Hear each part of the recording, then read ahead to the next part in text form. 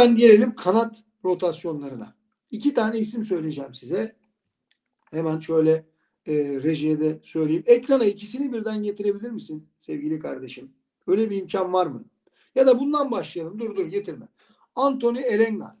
Şimdi kanatla alakalı Beşiktaş yönetiminin planlamasını anlatacağım arkadaşlar size. Planlamayı kafanızda oturtamazsanız ne yapmaya çalıştıklarını anlayamazsınız. Sonra e, her söylenene inanmak zorunda kalırsınız.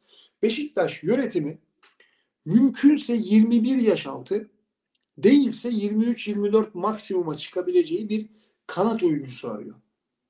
Ve bunun içinde normalde bugüne kadar görüşülen oyunculardan yeterli e, geri dönüşü ya da hocanın kesin onayını alamadıkları için Avrupa'daki transfer piyasasının kapanıp elde kalan önemli geldiğinde bir iki gün sonra takıma monte edip aynı Abu Bakar gibi oynatabilecekleri fakat e, işte Manchester United gibi, işte Chelsea gibi, e, Southampton gibi takımların oyuncuları üzerinden hazır oyuncu almak istiyorlar. Buradaki ana hedef pazar İngiltere Premier Ligi.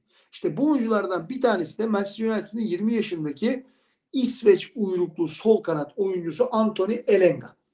Beşiktaş Anthony Elenga için e, pusuda bekliyor dersek çok da yanlış bir bilgi vermiş olmayız size. Çünkü biliyorsunuz Manchester United'ın da e, son Cristiano Ronaldo sürecinden önce ve daha sonra şimdi toparlamaya başladılar.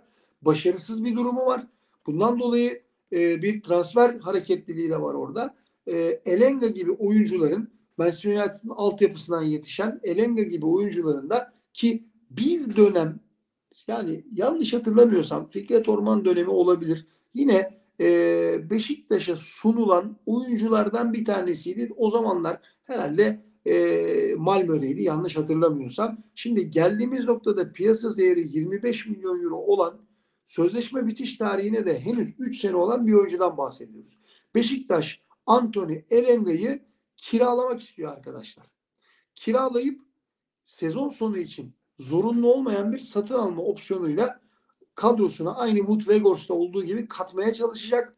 Ama bunun için pusuda bekliyor. Net olarak söyleyeyim. Ee, Anthony Elenga konusu bu. Peki bir diğer oyuncu kim? Musa Jinepo.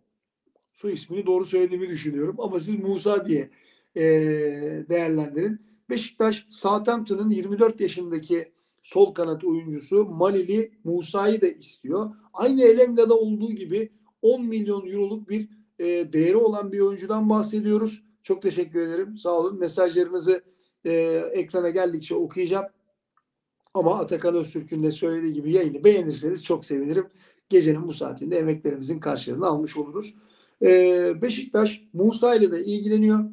Oyuncunun sözleşme detaylarına bir kere daha baktığımızda e, evet 10 milyon euro 2025 yılında bitiyor sözleşmesi. Aynı Elenga'da olduğu gibi oyuncuyu zorunlu olmayan satın almayla kiralamak istiyor. Bakın burada çok önemli bir detay söyleyeceğim size. Bunu da Abubakar transferi bittikten sonra nasıl biraz önce detay anlattıysam eğer bu transfer biterse anlatacağım. Southampton, Göztepe, Beşiktaş. Bu üçgeni aklınızda tutun. Eğer Musa transferi finalize olursa bu üçlü, bu üç kulüple alakalı detayı yine bu ekranlarda size anlatacağım. Ee, şimdi Joseph, Salih vesaire detaylar evet Salih sakatlığından yok, Joseph sakatlığından yok. Onu söyleyelim. Maçla alakalı yarın maç önü maç sonu yayınlarımız olacak. Sevgili İlker bizi sürekli takip ediyorsun sen de. Teşekkür ederiz. İstersen onu transfer programında değil de maç önü programında anlatalım. 30 dakika içerisinde size transfer hub'ı ilk defa canlı olarak yaptık. Normalde bu programımız 15 dakika sürüyordu.